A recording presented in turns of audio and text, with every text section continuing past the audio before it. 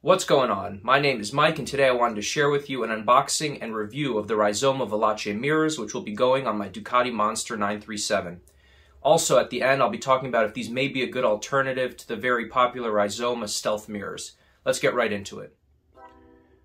So here's the box that these mirrors come in. Very nicely branded, very good quality box. And you can see the two seals at either end to show it's an authentic Rizoma product.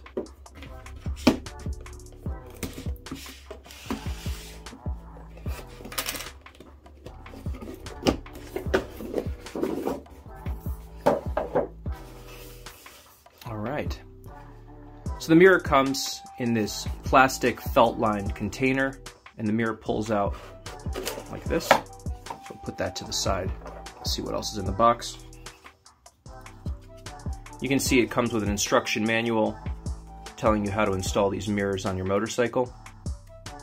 Please remember though to purchase the correct handlebar adapters which are listed on their website for every type of bike. So the mirror itself, let's take it out of its packaging.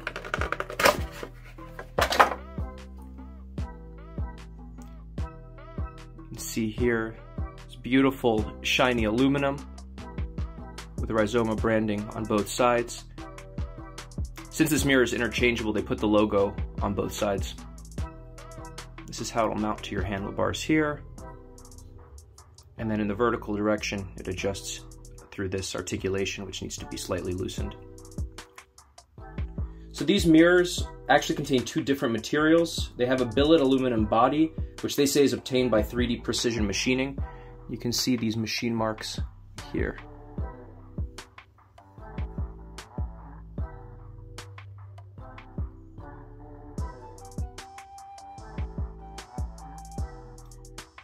The rest of the mirror comes with an aerodynamic polymer shell. They say that the use of these two materials makes this a lighter mirror and more aerodynamic, and they say that their aerodynamic shaping helps prevent turbulence at high speed. The mirror itself is true glass. Compared with the Ducati Monster stock mirrors, which are plastic, this feels much higher quality build. So that is that. These mirrors are listed on the Rizoma website for 169 euros, which is not cheap for two mirrors. However, the quality of the materials and design will definitely take your bike to another level. They also come in a sport version, which can be mounted to your sport bike for a more aggressive and aerodynamic look. And finally, they have a Veloce L version of these mirrors, which comes with an LED integrated turn signal, which also has a nice touch. Now, the question some people may have, is it worth spending that much money when for a little bit more you can get the stealth mirrors, which are very popular and very attractive. The stealth mirrors are currently listed on their website for 419 euros for the pair, which is slightly more expensive than the two Veloce mirrors. However, the styles are very different, so you'll have to decide what kind of a style you're going for. The stealth mirrors are a lot more aggressive and they might not look as good on a naked bike. On a sport bike, the stealth mirrors could be an excellent addition, especially if you're considering doing track days. Another issue that I have with the stealth mirrors is their visibility. These Veloce mirrors have a larger mirror so you can actually see more of the surroundings around you. If that's less important to you, the stealth might be a good alternative.